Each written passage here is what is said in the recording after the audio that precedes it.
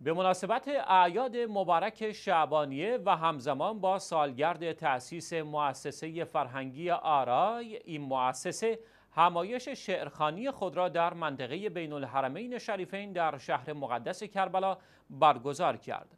هاشم الغرفی یکی از برپا کنندگان این همایش در گفتگو با خبرگزاری شیعه ویوز گفت تعدادی زیاد از شعرای کشور عراق در این همایش شعرخانی حضور یافتند و این همایش با استقبالی گرم از سوی شیعیان و محبان اهل بیت علیهم السلام روبرو شد. او ضمن اشاره به برنامه های متنوع همایش شعرخانی افزود در این همایش از چندین تن از خادمان آستانهای مقدس عراق و شرکت کنندگان در همایش تجلیل شد.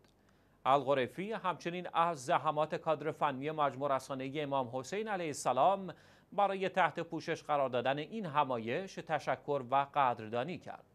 از سوی دیگر معتز از زیدی که به نمایندگی از مجموع رسانه امام حسین علیه السلام در این همایش حضور داشت گفت ما در پی دعوت رسمی مؤسسه فرهنگی آرای در این همایش حضور یافتیم.